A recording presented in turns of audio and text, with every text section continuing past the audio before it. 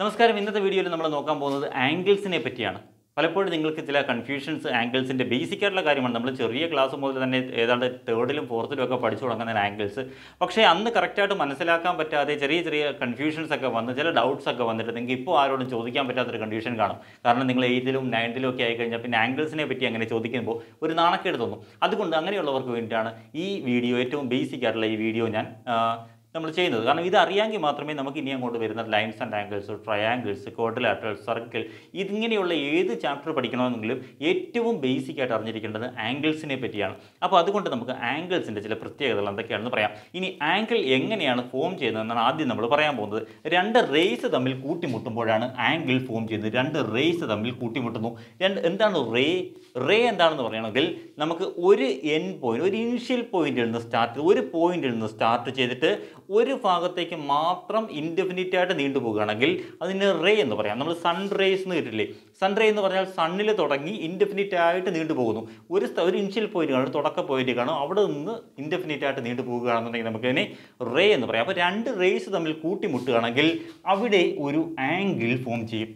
Okay രണ്ട് rays തമ്മിൽ അല്ലെങ്കിൽ രണ്ട് ലൈൻ സെഗ്മെന്റോ രണ്ട് ലൈൻസോ ഡെഫിനിഷൻ പറയുമ്പോൾ രണ്ട് റേസ് ആണ്. രണ്ട് റേസ് കൂട്ടിമുട്ടുമ്പോൾ അവിടെ ഒരു ആംഗിൾ ഫോം ചെയ്യും. ഈ ആംഗിൾ ഫോം ചെയ്യുമ്പോൾ നമുക്ക് ഈ ആംഗിളിനെ ഈ കൂട്ടിമുട്ടിയ പോയിന്റിനെ നമുക്ക് ഒ എന്നെടുക്കാം. ഈ ഒരു റേ ഒ എ ആണ്. രണ്ടാമത്തെ റേ ഒ ബി ആണ്. രണ്ട് റേയും കൂടെ കൂട്ടിമുട്ടുന്ന സ്ഥലം ഒ ആണ്.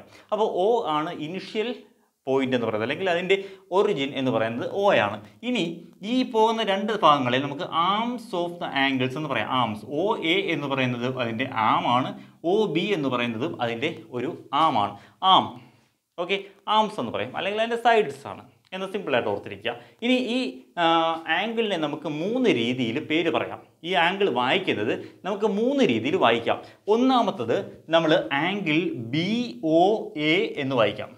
എങ്ങനെയാണ്? ആംഗിൾ ബി ഒ എ എന്ന് വായിക്കാം. അല്ലെങ്കിൽ ആംഗിൾ എ ഒ ബി എന്ന് വായിക്കാം. എ ഒ ബി അതുമല്ലെങ്കിൽ വെറുതെ ആംഗിൾ ഒ എന്നും വായിക്കുക. എങ്ങനെ വായിച്ചാലും സെന്ററിൽ വരുന്നത് ഒ ആയിരിക്കണം. കാരണം നമ്മുടെ ആംഗിൾ ഇവിടുത്തെ ആംഗിൾ ആക്ച്വലി ഒ ആണ്. മിഡ് പോയിന്റാണ് അപ്പോൾ ഈ മിഡിൽ പോയിന്റ് അല്ലെങ്കിൽ രണ്ടും കൂടെ ജോയിൻ ചെയ്ത് വരുന്ന ആ പോയിന്റ് ആംഗിൾ വരുന്ന പോയിന്റ് വേണം നടുക്ക് വരാൻ. നോക്കി രണ്ടും എഴുതിയപ്പോൾ ബി ഒ എ എന്ന് എഴുതാം. എ ഒ ബി എന്ന് എഴുതാം. അല്ലെങ്കിൽ സിംപ്ലി ആംഗിൾ ഒ എന്ന് മാത്രം എഴുതാം. അപ്പോൾ എങ്ങനെ എഴുതിയാലും എന്ത് വരണം നടുക്ക്? ഓ നടുക്ക് വരണം. ഇതാണ് ഏറ്റവും ഇമ്പോർട്ടന്റ് ആയിട്ട് മനസ്സിലാക്കി പലർക്കും ആംഗിൾ എഴുതുമ്പോൾ തെറ്റാറുണ്ട്. ആ ഒരു കൺഫ്യൂഷൻ ഇതിലൂടെ മാറി എന്ന് വിശ്വസിക്കുന്നു. അപ്പോൾ ഏത് ആംഗിളാണെങ്കിലും നോക്കിയേ ഇങ്ങനെ ഒരു ആംഗിൾ നമുക്ക് തന്നിട്ടുണ്ട്. അതിന്റെ പേര് ഡി ഇ എഫ് എന്നാണെങ്കിൽ അതിന് ഡി ഇ എഫ് എന്നും വായിക്കാം എഫ് ഇ ഡി എന്നും വായിക്കാം അല്ലെങ്കിൽ സിംപ്ലി നമുക്ക് ഇ എന്ന് വേണമെങ്കിലും വായിക്കാം. എല്ലാത്തിനും ആംഗിളിന്റെ സിമ്പിൾ ഇടണം. ആംഗിൾ ഓർത്തിരിക്കുക ആംഗിൾ ഒരു കാരണവശാലും രണ്ട് ലെറ്റർ കൊണ്ട് പറയില്ല. ഓക്കെ ആംഗിൾ ഒരിക്കലും രണ്ട് ലെറ്റർ കൊണ്ട് പറയില്ല. ആംഗിൾ പറയണമെങ്കിൽ പറയണമെങ്കിൽ ഒന്നുകിൽ മൂന്ന് ലെറ്റർ അല്ലെങ്കിൽ ഒരു ലെറ്റർ ഓക്കെ ഒന്നുകിൽ മൂന്ന് ലെറ്റർ അല്ലെങ്കിൽ ഒരു ലെറ്റർ കൊണ്ട് മാത്രമേ ആംഗിൾ എക്സ്പ്ലെയിൻ ചെയ്യത്തുള്ളൂ അല്ലെങ്കിൽ ആംഗിളിന്റെ നെയിം ചെയ്യത്തുള്ളൂ. അപ്പോൾ അതാണ് ആംഗിൾസ് ഇനി ആംഗിൾസിന്റെ ഡിഗ്രി അല്ലെങ്കിൽ ആംഗിളിന്റെ മെഷർമെന്റ് നമ്മൾ പറയുന്നത് എപ്പോഴും ഡി ഡിഗ്രിയിലാണ് ഓർത്തിരിക്കുക. ഡിഗ്രി നമ്മളിപ്പോൾ യൂണിറ്റ് യൂണിറ്റ് ഓഫ് ആംഗിൾ എന്ന് പറയാം. അതായത് നമുക്കിപ്പോൾ ലെങ്തിന്റെ നീളത്തിന്റെ നമുക്ക് സെന്റിമീറ്റർ പറയാം അല്ലേ? അല്ലെങ്കിൽ നമ്മുടെ വെയിറ്റിന്റെ അല്ലെങ്കിൽ മാസിന്റെ കിലോഗ്രാം എന്ന് പറയാം ടൈമിന്റെ സെക്കൻഡ് എന്ന് പറയാം യൂണിറ്റ് അതുപോലെ എപ്പോഴും ഒരു ആംഗിളിന്റെ യൂണിറ്റ് ആംഗിൾ മെഷർ ചെയ്യുന്നത് ഡിഗ്രിയിലായിരിക്കും ഡിഗ്രി എന്ന് പറയും. നമ്മൾ മേളിൽ ചെറിയൊരു പൂജ്യം ഇട്ട് നമുക്ക് അറിയാം അതൊക്കെ നമ്മൾ പഠിച്ചിട്ടുള്ളതാണ്. അതൊന്നും തെറ്റത്തില്ല നമുക്കല്ലേ ഓക്കെ അപ്പോൾ ഡിഗ്രിയിലാണ് ഇനി ഡിഗ്രി വന്നിട്ട് നമുക്ക് ഈ ആംഗിൾസിനെ രണ്ടായിട്ട് ഡിവൈഡ് ചെയ്യാം. സോറി രണ്ടായിട്ടല്ല പലതായിട്ട് ഡിവൈഡ് ചെയ്യാം. ഓക്കെ അതിൽ നമുക്ക് നയന്റി ഡിഗ്രി ആംഗിൾ ഓർത്തിരിക്കുക. ഇതാണ് ninety degree angle okay ninety degree angle നമ്മുടെ എൽ പോലെ ഇരിക്കും.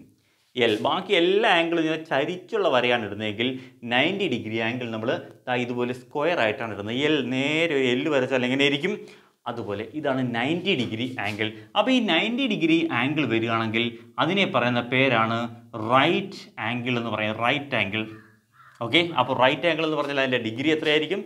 Ninety degree correct straight L പോലെ ഇരിക്കും. ഇനി നമുക്ക് തരുന്ന ആംഗിളിന്റെ മെഷർമെന്റ് നയന്റി ഡിഗ്രിയേക്കാൾ കുറവാണെങ്കിലോ? നയന്റി ഡിഗ്രിയേക്കാൾ ചെറുതാണെങ്കിലോ? ഈ ചെറിയ കുഞ്ഞുങ്ങളെയൊക്കെ നമ്മൾ ക്യൂട്ട് എന്ന് പറയില്ലേ? ക്യൂട്ട് അല്ലേ? അപ്പോൾ അതുപോലെ ചെറിയ ആംഗിളിൽ നമുക്ക് അക്യൂട്ട് ആംഗിൾ എന്ന് പറയാം. Acute angle a cute angle ഒരു ചെറിയ ആംഗിൾ അതാണ്. അക്യൂട്ട് ഒബ്റ്റ്യൂസ് ഒക്കെ പലപ്പോഴും നിങ്ങൾക്ക് തെറ്റിപ്പോകുന്നതാണ്. അപ്പോൾ ഇങ്ങനെ മനസ്സിലാക്കാം. എ ക്യൂട്ട് ആംഗിൾ അതായത് ഒരു ചെറിയ ആംഗിൾ നയന്റി ഡിഗ്രിയേക്കാളും കുറവ്. അതായത് acute angle is always acute angle is always less than ninety degree okay acute angle എന്ന് പറയുന്നത് നയന്റി ഡിഗ്രിയേക്കാളും കുറവായിരിക്കും. ഇനി നയന്റി ഡിഗ്രിയേക്കാളും കൂടുതലുള്ള ആംഗിൾ വന്നാലോ? നയന്റി ഡിഗ്രിയേക്കാളും വലിയ ആംഗിൾ ദാണ്ട് ഇങ്ങനെ വാ തുറന്നു വെച്ചിരിക്കുന്ന പോലെയുള്ള ആംഗിൾ വന്നാലോ? ഞാനിപ്പോൾ സ്കെയിൽ വെച്ചൊന്നും അല്ല വരയ്ക്കുന്നത് സ്ട്രെയിറ്റ് ലൈനാണ് കേട്ടോ. അത് കറക്റ്റായിട്ട് വരച്ചോണേ. ആ അതാ. ഇങ്ങനെ വരുന്ന ആംഗിൾ ആണെങ്കിലോ? നമുക്കിതിനെ ഇതിന്റെ വാ തുറന്നിരിക്കുകയാണ്. അപ്പോൾ ഇതിനെ നമുക്ക് ഒബ്റ്റ്യൂസ് ആംഗിൾ എന്ന് പറയും. ഒബ്റ്റ്യൂസ് ആംഗിൾ ഒപ്റ്റ്യൂസ് ആംഗിൾ എന്ന് പറയും. Obtuse angle is always greater than ninety degree obtuse angle എന്ന് പറയുന്നത് നയന്റി ഡിഗ്രിയേക്കാളും കൂടുതലായിരിക്കും. അപ്പോൾ അക്യൂട്ട് ആംഗിൾ എന്ന് പറഞ്ഞാൽ നയന്റി ഡിഗ്രിയേക്കാളും കുറവായിരിക്കും.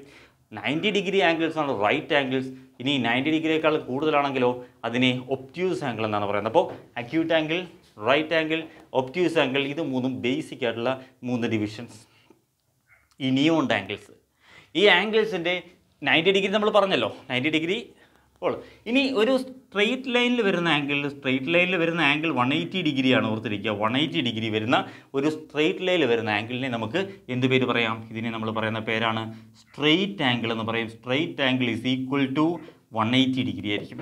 വൺ എയ്റ്റി ഡിഗ്രി വരുവാണെങ്കിൽ അതിനെ സ്ട്രെയിറ്റ് ആംഗിൾ എന്ന് പറയും. ഇനി ഈ വൺ എയ്റ്റി ഡിഗ്രിയേക്കാളും കൂടുതലാണ് വൺ എയ്റ്റി ഡിഗ്രിയേക്കാളും കൂടുതലാണ് പക്ഷേ ത്രീ സിക്സ്റ്റിയേക്കാളും കുറവാണ്. അതായത് ഇവിടെ വരുമ്പോൾ നമുക്ക് ഒപ്റ്റ്യൂസ് ആംഗിൾ എന്ന് പറയാം. ഇനി ഇതിന്റെ താഴെ ഒരു ആംഗിൾ വരുവാണെങ്കിലോ മേളിൽ വരുവാണെങ്കിൽ നമുക്ക് ഒപ്റ്റ്യൂസ് ആംഗിൾ എന്ന് പറയാം. ഈ താഴെ ഒരു ആംഗിൾ വരുവാണെന്നുണ്ടെങ്കിലോ അതിന് നമ്മൾ പറയുന്ന പേരാണ് റിഫ്ലെക്സ് ആംഗിൾ എന്ന് പറയും. എന്താണ്? റിഫ്ലെക്സ് ആംഗിൾ റിഫ്ലെക്സ് ആംഗിൾ എന്ന് പറയും. റിഫ്ലെക്സ് ആംഗിൾ എപ്പോഴും വൺ എയ്റ്റി ഡിഗ്രിയേക്കാളും കൂടുതലായിരിക്കും. എന്നാൽ ത്രീ സിക്സ്റ്റി ഡിഗ്രിയേക്കാളും കുറവായിരിക്കും. വൺ എയ്റ്റിയേക്കാളും കൂടുതലും ത്രീ സിക്സ്റ്റിയേക്കാളും കുറവ്. അതായത് in between one eighty and three sixty ആണെങ്കിൽ അതിന് റിഫ്ലെക്സ് ആംഗിൾ എന്ന് പറയാം. ഓക്കെ ഒപ്റ്റ്യൂസ് ആംഗിളിനും അക്യൂട്ട് ആംഗിളിനും എല്ലാം നമുക്ക് റിഫ്ലെക്സ് ആംഗിൾ വരയ്ക്കാൻ പറ്റും. ഇതിന്റെ പുറക് സൈഡിൽ ബാക്ക് സൈഡിൽ വരുന്ന ആംഗിൾ ആയിരിക്കും എപ്പോഴും എന്ത്? റിഫ്ലെക്സ് ആംഗിൾ അപ്പോൾ റിഫ്ലെക്സ് ആംഗിൾ കണ്ടുപിടിക്കാൻ വേണ്ടി നമുക്ക് നമുക്ക് നമുക്ക് തന്നിട്ടുള്ള ആംഗിളിനെ ത്രീ നിന്ന് സബ്ട്രാക്ട് ചെയ്താൽ മതി. ത്രീ സിക്സ്റ്റി എന്താണെന്ന് വെച്ച് കഴിഞ്ഞാൽ ഇതാ ഒരു പോയിന്റ് നമ്മൾ ഇടുകയാണെന്നുണ്ടെങ്കിൽ അതിന് ചുറ്റുമുള്ള ഒരു ആംഗിൾ അതാണ് കംപ്ലീറ്റ് ആംഗിൾ എന്ന് പറയും. കംപ്ലീറ്റ് ആംഗിൾ കംപ്ലീറ്റ് ആംഗിൾ അല്ലെങ്കിൽ ത്രീ സിക്സ്റ്റി ഡിഗ്രി എന്ന് പറയും. അപ്പോൾ ഒരു കംപ്ലീറ്റ് ആംഗിൾ ഒരു പോയിന്റിന് ചുറ്റുമുള്ള ആംഗിളിനെ നമുക്ക് കംപ്ലീറ്റ് ആംഗിൾ എന്ന് പറയാം. അത് ത്രീ സിക്സ്റ്റി ഡിഗ്രിയാണ് അതിന് അതിനും വൺ എയ്റ്റിക്കും ഇടയ്ക്കാണെങ്കിൽ നമുക്കതിന് എന്ത് പേര് പറയാം? റിഫ്ലക്സ് ആംഗിൾ എന്ന് പറയാം. അപ്പോൾ ഇതാണ് ടൈപ്സ് ഓഫ് ആംഗിൾസ് വളരെ സിമ്പിളാണ് ഈ ടൈപ്സ് ഓഫ് ആംഗിൾസ് എന്ന് പറയുന്ന ആദ്യം എ ക്യൂട്ട് ആംഗിൾ ഒരു കുഞ്ഞാംഗിൾ അതായത് നയന്റി ഡിഗ്രിയേക്കാളും കുഞ്ഞാംഗിൾ അത് എത്ര വേണമെങ്കിലും സീറോ വൺ മുതൽ എയ്റ്റി നയൻ വരെ വരികയാണെങ്കിൽ വൺ മുതൽ എയ്റ്റി നയൻ ഡിഗ്രി വരെ വരികയാണെങ്കിൽ അത് എന്ത് വരും? Acute angle okay exact ninety degree വരുവാണെങ്കിൽ അത് റൈറ്റ് ആംഗിൾ നയന്റി വൺ മുതൽ എത്രയാണ്? വൺ നയന്റി വൺ മുതൽ ഇങ്ങോട്ട് one hundred and seventy nine വരെ വരികയാണെങ്കിൽ അത് obtuse angle one hundred and eighty one മുതൽ ഈ two hundred and three hundred and fifty nine വരുവാണെങ്കിൽ അത് റിഫ്ലെക്സ് ആംഗിൾ എന്ന് പറയുന്നത് റിഫ്ലെക്സ് ആംഗിൾ ഓക്കെ ഇനി കറക്റ്റ് ത്രീ സിക്സ്റ്റി ഡിഗ്രി അതായത് ഒരു പോയിന്റിന് ചുറ്റുമുള്ള ആംഗിൾ എന്ന് പറയുന്നത് എന്താണ്? കംപ്ലീറ്റ് ആംഗിൾ അല്ലെങ്കിൽ ത്രീ സിക്സ്റ്റി ഡിഗ്രി അപ്പോൾ ഇതാണ് ആംഗിൾസിന്റെ ടൈപ്പ് അപ്പോൾ ആംഗിൾ എന്താണെന്ന് നമുക്ക് മനസ്സിലായി? ആംഗിളിന്റെ മെഷർമെന്റ് എങ്ങനെയാണെന്ന് മനസ്സിലായി? ആംഗിളിന്റെ ടൈപ്സ് എങ്ങനെയാണെന്ന് മനസ്സിലായി? ആംഗിൾസ് വളരെ സിമ്പിളാണെന്ന് ഇപ്പോൾ മനസ്സിലായി. ഇല്ലേ? ഇനി ഒരിക്കലും ആംഗിൾ തെറ്റില്ലല്ലോ. എക്യൂട്ട് ആംഗിൾ വെച്ച് ഓർത്താൽ മതി. അക്യൂട്ട് ഒപ്റ്റ്യൂസാണ് സാധാരണ എല്ലാവർക്കും തെറ്റുന്നത്. സോ ഒരു ചെറിയ ആംഗിൾ അതായത് നയന്റിയേക്കാളും കുറഞ്ഞ ആംഗിൾ കണ്ടാൽ തന്നെ കുഞ്ഞായിട്ട് തോന്നും. അതായത് അതാണെന്ത്? അക്യൂട്ട് ആംഗിൾ നയന്റിയേക്കാളും വലുതിനെ ഒപ്റ്റ്യൂസ് ആംഗിൾ എന്ന് പറയാം. ഓക്കെ പിന്നെ ബാക്കിയുള്ളത് സ്ട്രെയിറ്റ് ആംഗിൾ ഉണ്ട്. വൺ എയ്റ്റി ഡിഗ്രി വരണമെങ്കിൽ സ്ട്രെയിറ്റ് ആംഗിൾ ഒരു സ്ട്രെയിറ്റ് ലൈനിൽ വരുന്ന ആംഗിൾസ് ആണ് സ്ട്രെയിറ്റ് ആംഗിൾ അപ്പോൾ ആംഗിൾസ് എന്താണെന്ന് മനസ്സിലായല്ലോ? ഈ നമുക്ക് ഈ വീഡിയോയിലൂടെ ആംഗിൾസ് എന്താണെന്ന് മനസ്സിലായി? അപ്പോൾ ഇനി നിങ്ങൾക്ക് ആംഗിൾസ് തെറ്റില്ല.